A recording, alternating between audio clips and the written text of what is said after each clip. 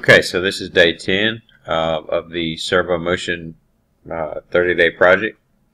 So uh, on in day 9 we uh, we did the actual system test, um, make sure everything that we've done so far with the uh, logics um, or with the uh, axes and everything are working properly. And it the we haven't added anything in the state machine, but we did add the virtual controls as far as uh, just having the speed controls and stuff in there.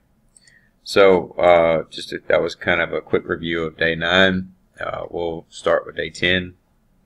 Uh, right now, what I'm going to start doing is adding the um, state logic. So I want to put in the state control first and then come back and do the state actual uh, if, then, and else statements. So first and foremost, uh, we need to add a couple rungs. Um, and basically what I want to do is basically gonna to uh, see. Come in and we're going to move. We're going to basically do an indirect addressing um, but we're, we're going to move everything into what it should be. So uh, we'll go ahead and do that. We'll add the move statement in there. So we'll have the move and then we'll have another move and then what we'll do um, we have sorry let's not create a tag let's go down to our tags that we made and if you recall in one of the prior videos we made all our tags for basically our, our arrays and our state array and stuff of that nature so I want to grab my state array which is an array of 50, right? I'm going to grab my state array, but I'm going to come back here and add uh, an indirect address to that. That indirect address in this case is going to be machine uh, state number. So what I need to do, actually, let's let's leave that like that for now. Let's come back to here create um, machine state number. And we need to alias this. We need to alias this uh, machine state number. Basically we need to uh, we need to take it to uh, um, Actually, uh, hold on. I'm sorry. We need to add this being the um, state SSL. So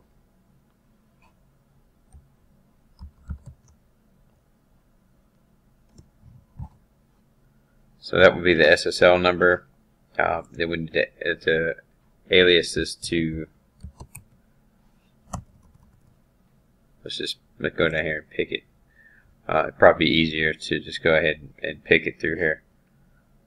So we, what we want is the um, the machine state. I'm not sure if I have if I've added that already or if I haven't.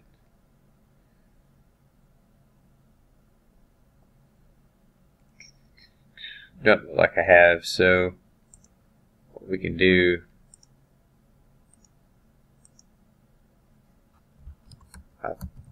thought I did, but I don't see it.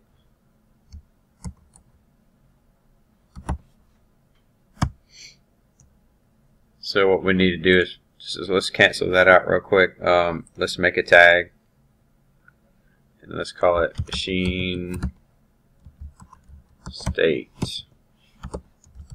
number. Okay, and then it's going to be a DINT. So in that case, um, we'll copy that.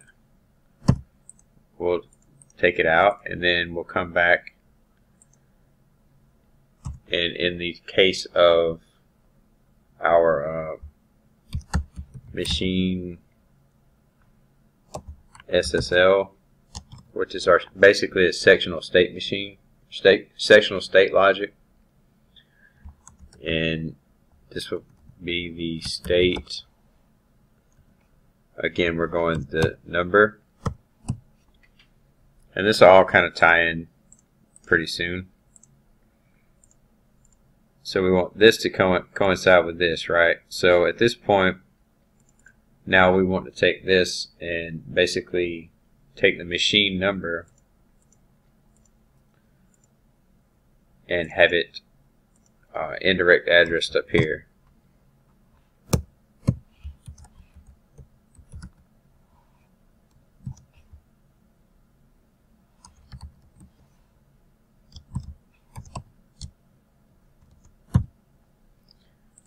So basically what we're going to do is we're going to say whatever the machine number is, we're going to direct it to that portion of that array.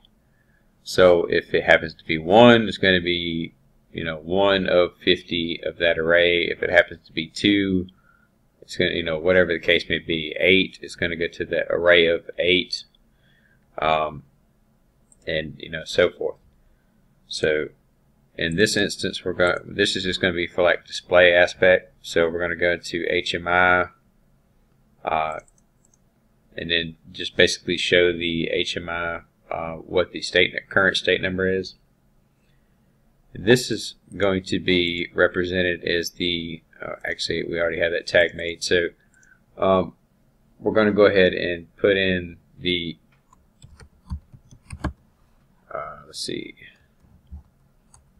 This would be the output.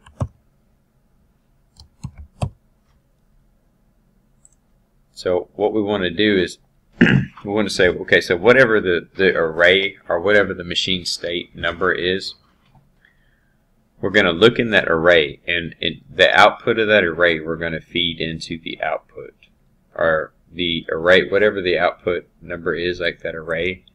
If we just happen to look at the array,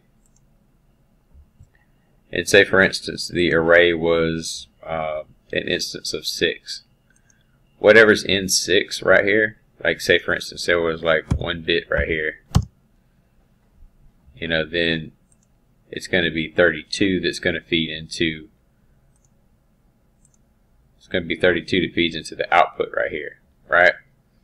So uh, real quick so we don't get confused. We don't you know kind of come back and you know where we keep where we're at. Um, I want to keep the array clean right now. But first and foremost, I want to go ahead and put that in there. So just keep in mind that this state machine uses indirect addressing, and I've, I've shown this in some of my other videos.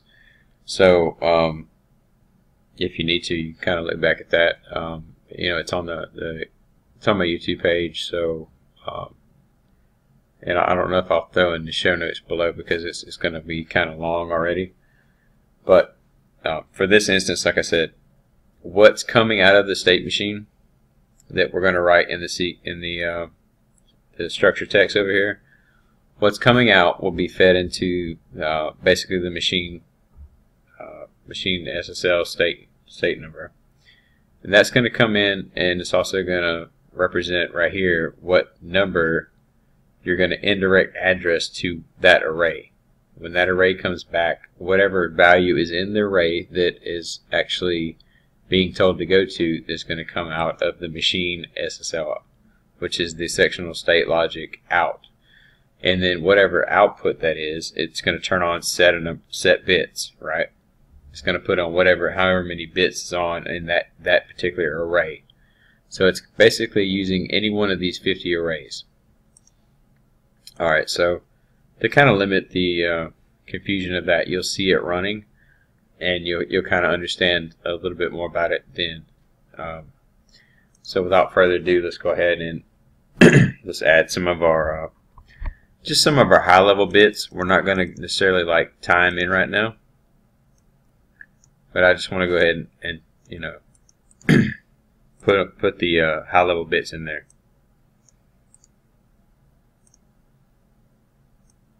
So I think we're going to go probably six. Uh, that's what, four. Okay, so okay, so first and foremost, uh, always uh, we're going to have a basically a e-stop.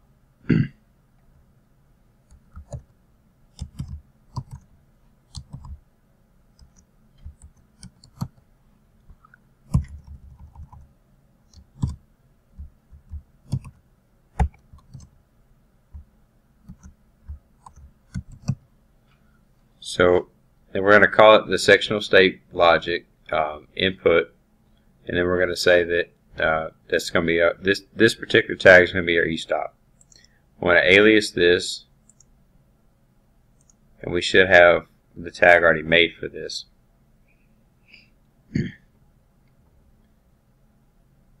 is the input tag. So at this point we want to use 0 as our input tag. And that's going to be, like I said, that's going to be our high level. And this will all start making sense as far as what we feed into our state machine.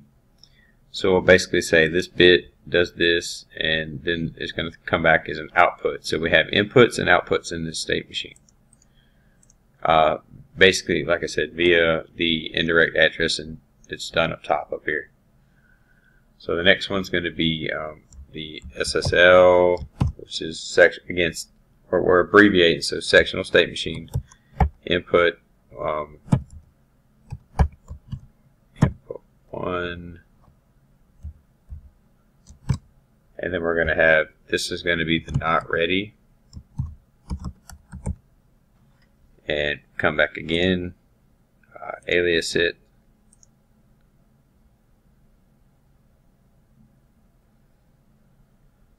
And then again, this is a machine state. So uh, this would be one. We'll come in and we'll throw the next one will be our basically our system stop. So SSL in one system stop. We'll abbreviate or we'll alias this again, come down and just choose the next one in, in line.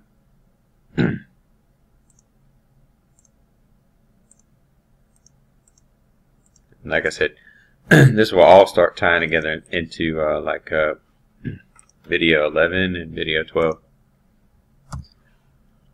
So hopefully this, uh, I mean, you may understand what I'm talking about right now. I mean, I'm, I don't want to get too far into it. So this would be the system ready.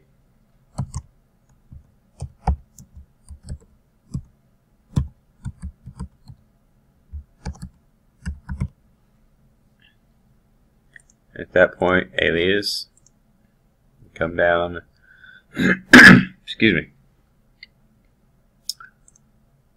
and again the next one in line, right? Okay, so this is going to be the uh, system start.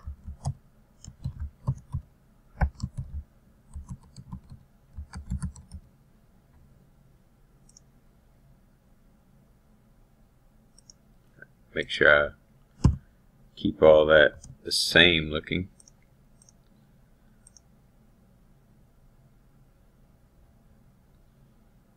Okay, and this should be 4. Tie that in here. And then this would be the system running.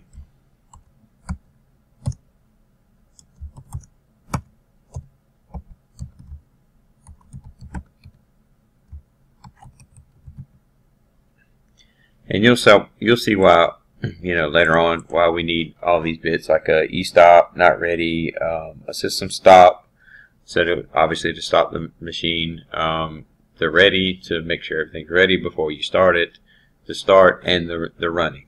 So um, you'll see exactly why we have all this. And it's very, very simple. I'm not going to make this very complex at all. Um, even though it may sound complex right now uh, to some people, it's not going to be complex at all.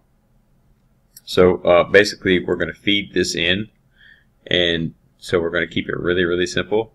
This is basically our state machine, right? Um, these bits right here that you see are going to be the high-level bits for the machine going into the state machine.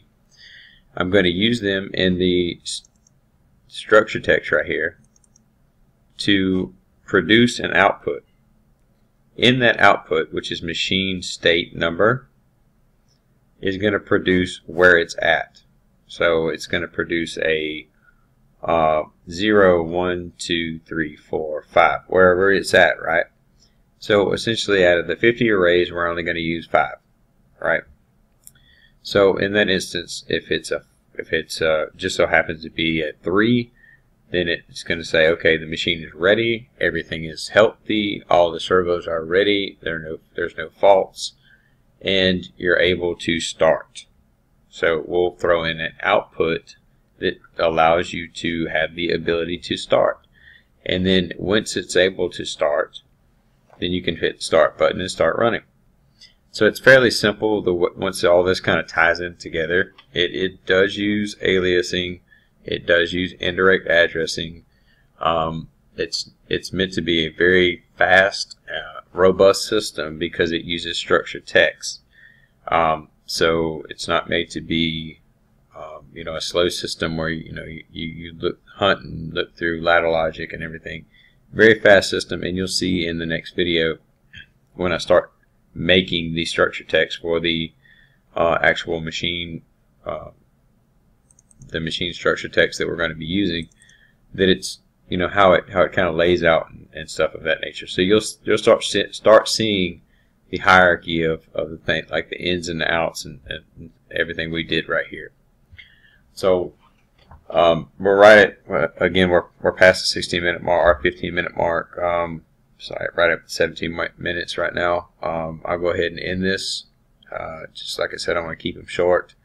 This did give you an example of uh, indirect addressing the output array the feed to the HMI that we're going to be giving the inputs that we're going to be feeding into the state machine and in the next video I'll be doing the uh, state programming for the state machine itself. So, well, without further ado, I just want to thank you for your time. Uh, thank you for your patience. And um, we'll see you again on day 11. Okay, thank you.